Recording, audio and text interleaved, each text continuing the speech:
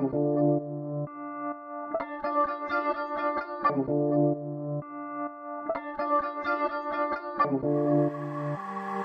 that proud, she got no limits.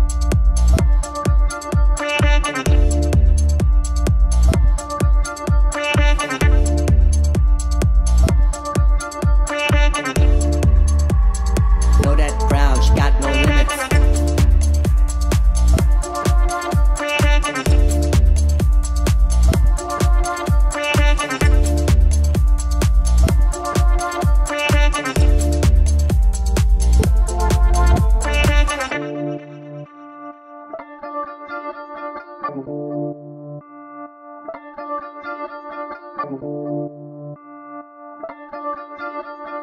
you.